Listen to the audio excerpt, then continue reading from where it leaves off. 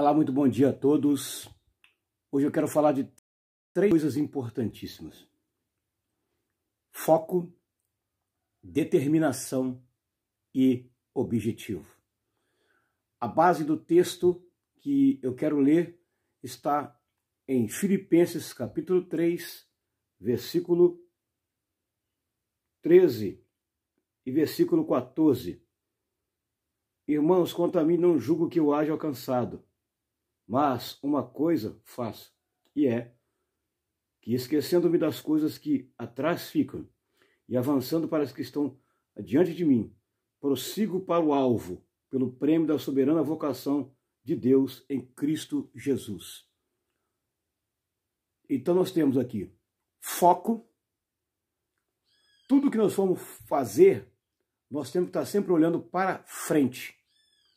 Eu costumo dizer nos meus vídeos e das minhas lições, quando eu estou gravando ou estudando, o seguinte: não olhe para trás, porque você não está indo para lá, mas olhe para frente. Todos aqueles que têm um alvo, têm um foco, têm um objetivo, ele tem que ter determinação. E quem está indo para frente para buscar qualquer coisa, ele não pode olhar para trás e deve olhar para frente, sempre para frente. Por quê? Porque o objetivo dele não está lá atrás, porque ele já veio lá de trás. O objetivo dele está lá na frente. Então é na frente que está o objetivo. É na frente que está o seu alvo. É na frente que está o seu foco. E é para frente que você tem que ter determinação, coragem para andar, para conquistar o prêmio que te alcança lá na frente. Paulo aqui, ele, ele, ele dá um conselho para os irmãos da igreja de Filipos. Irmãos, esquecendo-me das coisas que para trás ficam. Ele queria dizer, ó, eu esqueci das coisas que ficaram para trás, porque eu tenho um alvo, eu tenho um foco, eu tenho um objetivo, eu preciso ter determinação. Eu tenho uma meta a alcançar. Irmãos, esqueçam das coisas que para trás ficaram. Se vocês querem alcançar vitória, querem ter conquistas e êxito na vida material, profissional e espiritual, o objetivo é andar para frente, olhar sempre para frente. Aleluia porque é lá na frente que está o seu, o seu alvo. É lá na frente que te espera a vitória. É lá na frente que te espera a conquista. Então, esses três objetivos devem existir na vida de toda pessoa, de todo ser humano. É sempre olhar para frente, é sempre andar para frente, esquecendo-me das coisas esquecendo-me. Paulo está se referindo a ele quando usa, quando tem aqui a palavra é, o, grifada aqui, me, esquecendo, há um grife aqui, me. Quem estava esquecendo? Ele. Ele estava esquecendo. Por quê? Ele ainda não havia conquistado nada.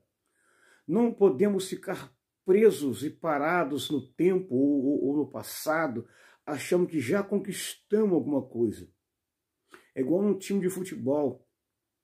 Os jogadores já entram em campo com aquele oba-oba, com aquele oba-oba, né? principalmente vai, quando vai disputar finais de campeonatos, com aquele oba-oba, já ganhamos, já ganhamos. Não ganhou nada ainda. Primeiro que não entrou em campo. Segundo que ele pode estar preparado fisicamente, psicologicamente, mas o time adversário ele tem sempre as suas estratégias para vencer. Então não podemos jamais cantar vitória antes de nós entrarmos em campo, suar a camisa e sim receber a nossa vitória. Aleluia.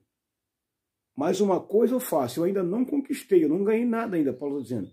Mas uma coisa eu faço, está dizendo ele, eu faço.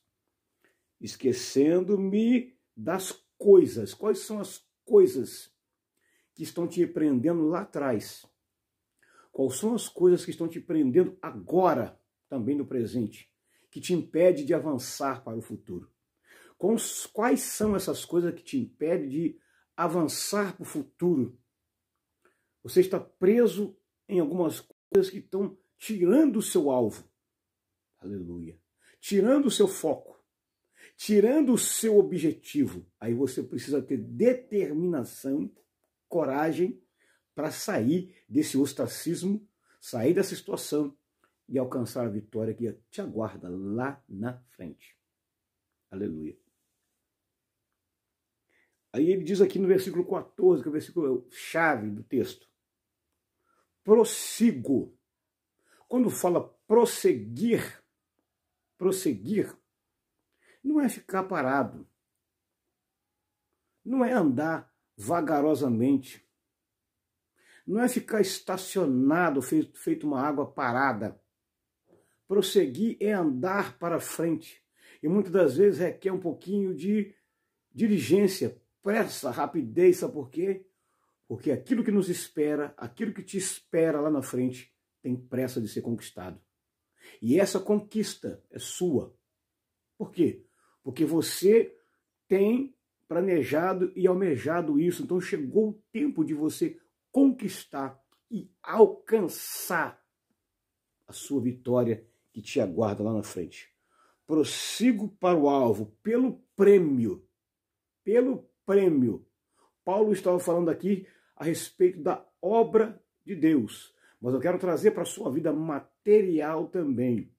Se você tem algo a conquistar, você precisa ter foco, determinação e objetivo. Sem essas coisas, você não consegue vencer.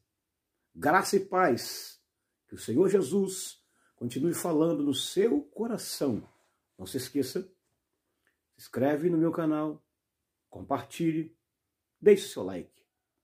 Deus que te abençoe na manhã desse dia, em nome de Jesus.